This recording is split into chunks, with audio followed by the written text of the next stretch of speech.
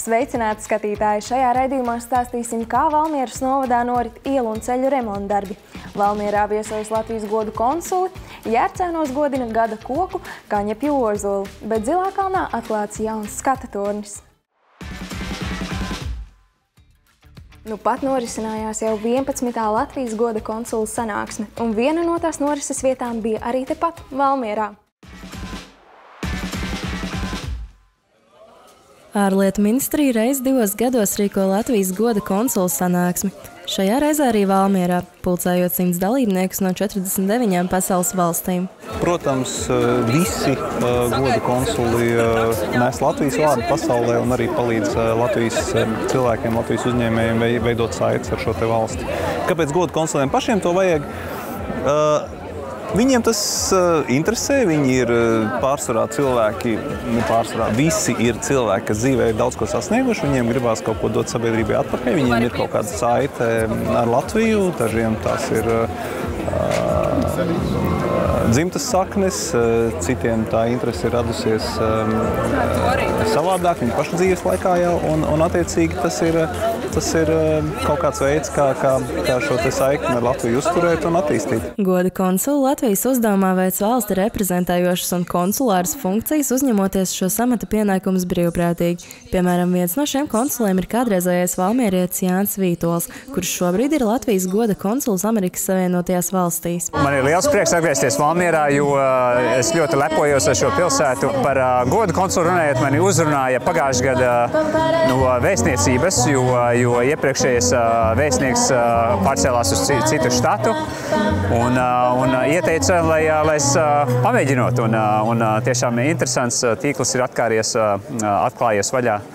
Un, un, un, un, un, un, jā, tā kā prieks būt šeit un, un, un ar visiem, kā lai saka, padalīties šajā pieredzē. Sanāksmes viesiem tika prezentēta Valmieras novada starptautiski konkurentspējīgi un inovatīvi uzņēmumi, to produkcija, kā arī novada investīciju piesaistas stratēģija, industriālā teritorija attīstības plānu un iespējas investoriem. Mēs arī stāstījām prezentācijā par visām dotajām iespējām, kas ir gan industrializācijā, gan kultūras pasākumi, gan kultūras objekti, gan turisms. Un mums jau ir vairāki, vairākas tikšanās, vairākas plānotās sazvanas, lai turpinātu šo sadarbību ar konkrētiem projektiem. Šī ir vēl viena iespēja mums, kā tas nozīmē, ka mēs esam sev pierādījuši, ka ir noteikti jāatgriežas un šis ekonomiskās sadarbības stāsts ir jāturpina. Interesanti redzēt, ka no turisma viedokļa daudzas attīstības lietas nav ievērojamas. Šis ceļojums ir tiešām atvēris man acis un es domāju daudziem citiem par kādi ir uzņēmumi, kas izgājuši pasaulē un, un tiešām attīstās labi un ir daudz ko sasnieguši. Tā kā ir patīkams pārsteigums redzēt to, to pusi, kas varbūt nav redzama turistiem. Nu, patīkami, jā, ir satikt cilvēks no visas pasaules, pavarās tiešām iespēja dzirdēt visādus redzeslokus un, un arī nu, ceru, ka izveidosies tādas ilgstošas attiecības un, un, un sakari, jo mēs visi cenšamies palīdzēt Latvijai un, un, un visādos biznesa veidos, kultūrālos veidos. Latvijas goda konsuls Jānis Vītols norādīja, ka ir svarīgi, ka šādas sanāksmes tiek rīkotas. Tā ir fantastiska iespēja uzturēt saikni ar savu valsti. Man gan jāpiemina, ka tieši tie latvieši, kas ir goda konsuli, ir mazākums. Ir ļoti daudzi starptautiski cilvēki, kas arī, es domāju, ir svarīgi tomēr, lai veidotu dziļākas attiecības ar tām visādām pasaules valstīm. Tā kā te ir gan ārzemnieki, gan, gan latvieši, arī tādi kā, tā kā es, kas aizbraukuši. Un, jā, ir tiešām foršs veids, kā uzturēt sakarus ar savu valsti un palīdzēt. Liela daļa no viņiem nav pirmo reizi Latvijā. Daudz no viņiem goda konsuli ir jau vairāk kā desmit gadus, ir, ir tādi, kas ir gandrīz 30 gadus jau. Un, tāpēc tas ir tāds labs ik, ik pa diviem gadiem pasākums, kā šīs saites atsvaidzināt un, un kā viņus visus pievilināt atpakaļ uz Latviju. Latvijas goda konsula tikšanās Valmierā noslēdzās ar aktīvajiem Valmieras naudu uzņēmējiem, amatniekiem un mājražotājiem. Ik gadu Valmieras novadā tiek atjaunoti autoceļi, lai drošāka un patīkamāka braukšana būtu tik vienam. Turpinājumā dosimies uz kocēniem un naukšēniem, lai lūkotu, kādi darbi jau paveikti, bet kas vēl darāms.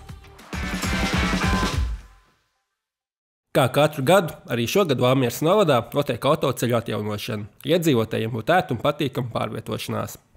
Naukšāna apvienības pārvaldes vadītājs Jānis Zumens stāsta, kur tad ir lielākie darbi, kas šogad plānot Naukšāna pusē. Šovasar tie lielākie darbi eh, Naukšāna pusē ir uh, tediņceļa, tāda atjaunošana, uzlabošana, kur mēs šobrīd arī atrodamies. Uz šī ceļa ir, ir, ir uh, Eh, saka, noņemtas ceļa malas, veidot tādu mazu grāvīšu un arī uzvedas materiāls virsū.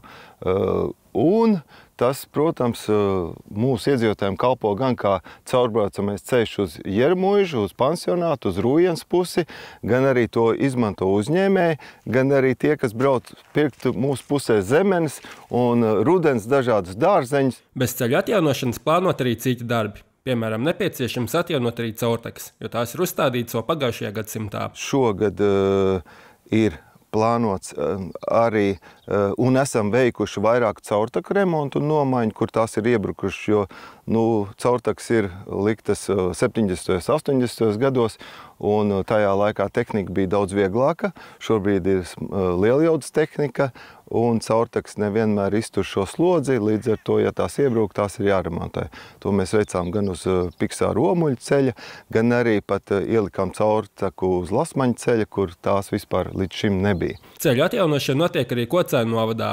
Kocēnu apvienības pārvaldes apsaimniekošanas speciālists stāsta, ka pārvalde ir gatava uzklausīt arī iedzīvotāju ierosinājumus, kur pēc viņu domām būtu nepieciešams veikt autoceļu darbus. Ir bijuši izskalojumi, kaut kādi remonta darbi, bet uh, cenšamies uzturēt labā kārtībā ceļus, uh, regulāri apsekojam tos un arī iespēju robežās tos atjaunojam vai remontējam. Iespēju robežās uh, darbojamies jau, tiek atjaunots grants seguma virskārts. Tepat kocēnos Silvēni gaidas ir atjaunots pilnībā. Rubene mežuļi atjaunots arī ir lielākais posms, kā arī vēl pārējos pagastu ceļos tiek turpināti darbi. Vēl viens darbs, ko plānots izdarīt Naukšē novadā - tiltu atjaunošana. Esošie tilti ir apsekoti un apzināti defekti, kas jānovērš. Vienu no tiltiem nāksies arī uz laiku slēgt, bet paredzams, ka iedzīvotājiem tas būtisks neērtības neradīs. Tie minimālie darbi bija dažiem tiltiem, kur trūkst apzīmējumu un zīmes. Ja, kaut vai svarīgi ierobežojušās zīmes, tās mēs momentā reaģējam un arī uzreiz jau uzliekam. Diemžēl viens varbūt ne, ne, ne ļoti strateģiski nozīmīgs tilts, bet viņš ir šobrīd jāslēdz. Bet tas arī ir Nu, ja tas darbs ir, ja tas ir jādara, un ja eh, teiksim, inspektors ir novērtējis, ka viņš ir bīstams, tad to mēs arī izdarīsim. Ši, šī vieta ir apbraucama, līdz ar to tas neradīs eh, nekādas lielas problēmas tiem iedzīvotājiem, kas tur dzīvo tūmā, tās pāris mājiņas, bet eh, to mēs darīsim. Un tad nākotnē skatīsimies, vai tur var aizstāt ar caurteku vai kā savādāk risināt šo jautājumu, bet to mēs noteikti izdarīsim. Jānis Zumens stāsta, ka šogad veicamo darbu sarakstā prioritāte ir bijusi naukšā nestrādes atjaunošana. Šobrīd darbi tuvojas beigām, lai iedzīvotāji tuvojošos svētkus varētu sagaidīt atjaunotā izstrādē. Un augšēna mūža estrāde paralēli skaitās arī sporta laukums. Šogad tā bija mūsu prioritāte, tāpēc, ka beidzot mēs gribam atgriezties un augšēna pagasts svētkus atzīmēt un svinēt augšēna mūža teritorijā. Pietiek dejot par purvu, pa zāli, jo atbrauc arī uz svētkiem uh, ciemiņi vai mūsu bijušie iedzīvotāji no pilsētām un, un varbūt grib uzdejot kādu modernāku deju vai augšānu disko uzgriezt, ja, tad estrāde būs īstā vieta, kur to varēs izdarīt. Aicinājums arī vietējiem iedzīvotājiem, kuriem ir atbilstoša tehnika, būt aktīviem un piedalīties pašvaldības izsludinātajos iepirkumos par novadu ceļu šķūrēšanu, greiderēšanu un sniegtīrīšanu. Bet tagad dosimies reklāmas pauzē. Palieciet ar mums un uzzināsiet, kā norisinājās gada koka kaņa pjozola godināšana un dosimies arī uz Zilā kalna skatu torni, lai paskatītos, kāds skats no turienes paveras.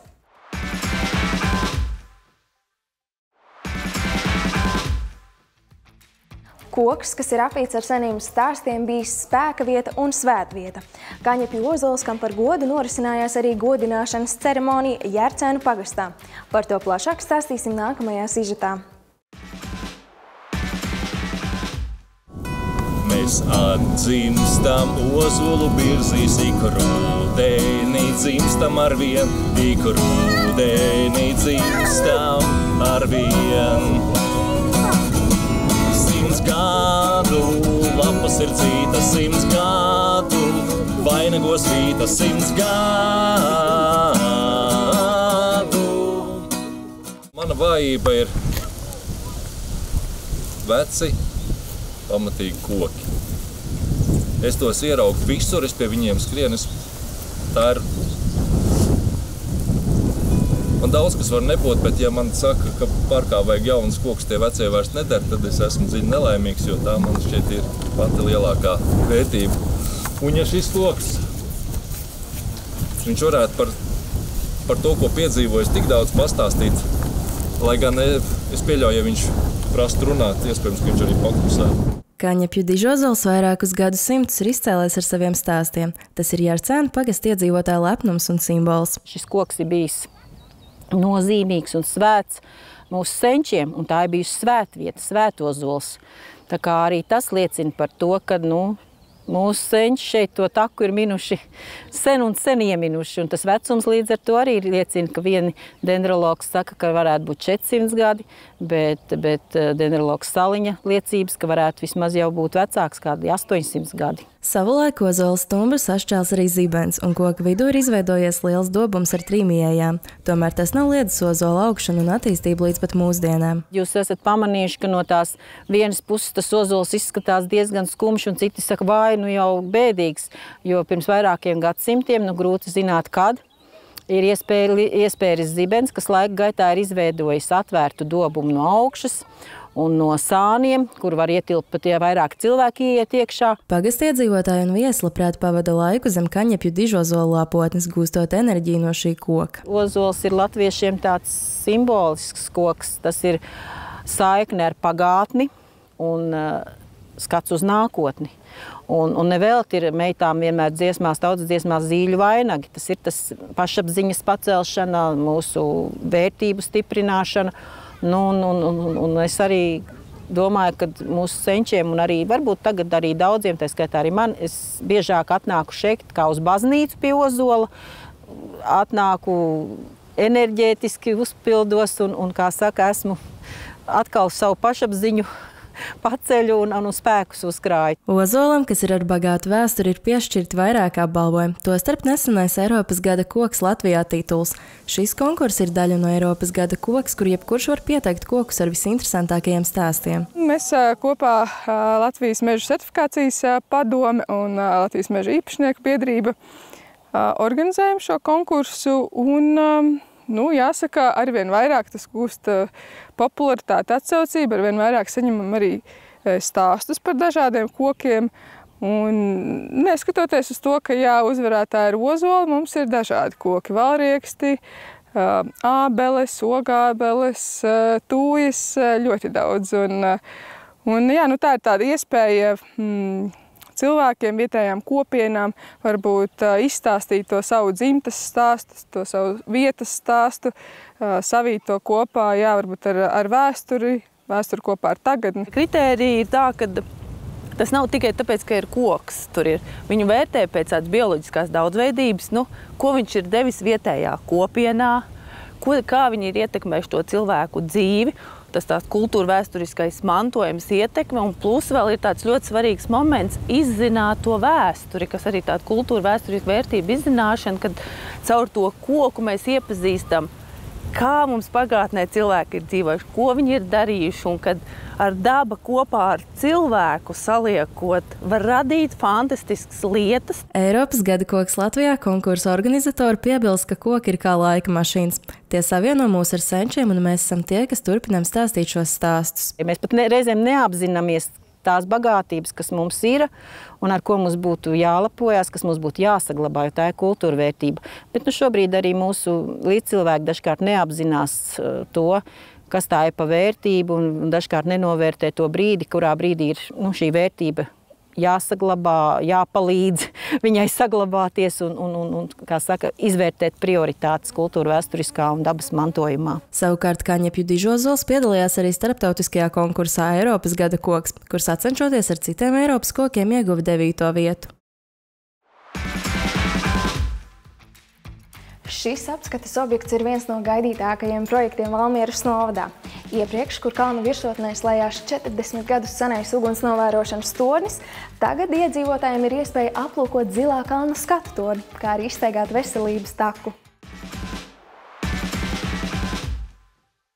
Jau kopš vasaras salgriežiem Valmieras novada iedzīvotāji un viesi var baudīt zilā kalna skatu torni, un pavisam iespējams šovasar tas pat kļūs par vienu no populārākajiem turistu galamērķiem. Bija te tas senais ugunsdrošības tornis, ja, kurš netika eksploatēts, ja, un vienmēr visiem bija tā vēlme paskatīties, nu, cik augsta mēs kā esam. Ja, un es domāju, šis projekts ir vienkārši arī fantastiski izdevies realizēt, un kopumā šī ideja, ka mēs redzam tik tālu, esam šobrīd 28 plus 66, tātad 94 metru augstumā. Mēs varam pacelties augstu virs, virs koku galotnēm, virs zilā kalna kokiem un baudīt šo skaisto ainavu uz Burtnieku ezeru, uz, uz Valmieras novadu. Un, Un kā iepriekš valsts meža dienesta uh, inspektori, kuri sargāja šos kūdras purvos, šo drošību, teica, ka pat uh, skaidrā laikā var arī jūru redzēt.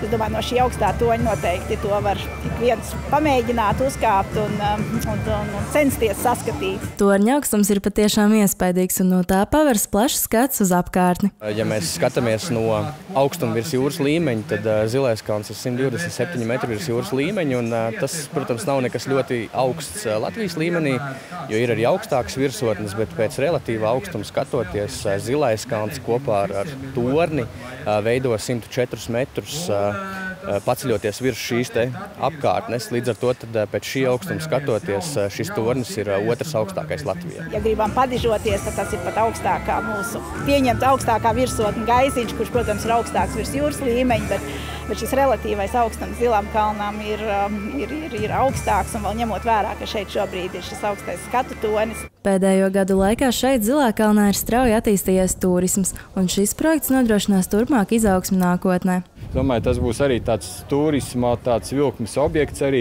arī zilām kalnām, kas ir līdz ar to ir arī pašam ciemam ir iespēja kaut ko attīstīt un piedāvāt vēl kaut ko vairāk viesmīlības jomā. Ja, jo, protams, ka šeit gribās būt, apskatīties katru gada laiku, ja, un es domāju, ka šeit varētu būt arī ļoti fantastiski saulēkti, ko varētu šeit skatīties. Kopā ar jaunā skatu torņa izveidu apkārt Zilam kalnam ir izveidota arī veselības taka, kas būs piemērota ikvienam aktīvā dzīvesveida piekritējiem. Viens fizisks vingrinājums ir uzkāpt tornī, pārvarēt bailes. Šis ir salīdzinoši augsts tornis pret citiem Latvijas torņiem, bet arī bez torņa apmeklējuma ir iespēja izstaigāt 3 km garu veselības taku kuros ir 12 dažādi punkti ar iespēju mazliet pavingrot. Šie vingrinājumi ir veidoti tādā saskaņā kopā arī mazliet ar to enerģētisko pusi, kuru arī Zilais kalns ir diezgan slavens.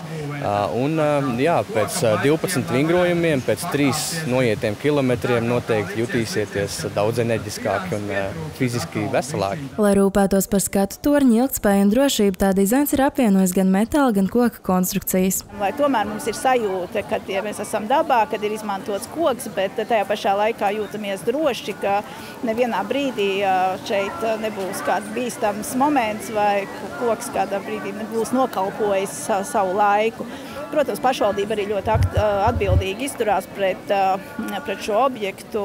Mēs esam gan drošības noteikumus izstrādājuši, jo kā jebkurā vietā mēs kāpjam augstumā, ir, ir jāievēro drošības noteikumi un katram pašam par sevi jārūpējās. Zilā kalna skatu tornis ir pieejams apmeklētājiem visu diennakti. Nakts tumšajā laikā šis tornis tiek izgaismots mītiskajās zilajās krāsās, ļaujot baudīt apkārtējo ainavu jebkurā laikā.